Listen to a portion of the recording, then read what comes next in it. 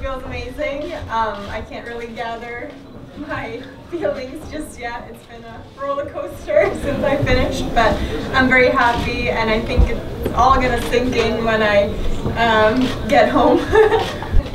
I played well on the front nine as well, but I didn't really um, get the putts to drop, so I kept patient, and I finally uh, got a few on the back nine, which was really nice and I've been in this position before a couple of times, so it was nice to have done that to prepare myself for, for the finishing line.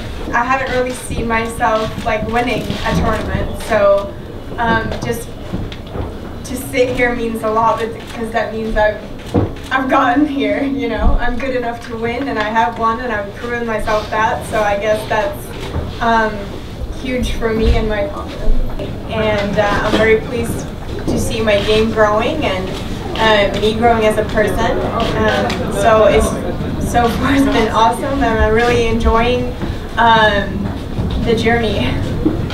We're so we're so many, and it's fun that we're so many. We're all working together. We have camps, and we practice, and we learn from each other. So we kind of feed off each other as well. Um, so I really like how we come together, and that all the girls were standing by the green waiting for me. I mean, it means means a lot.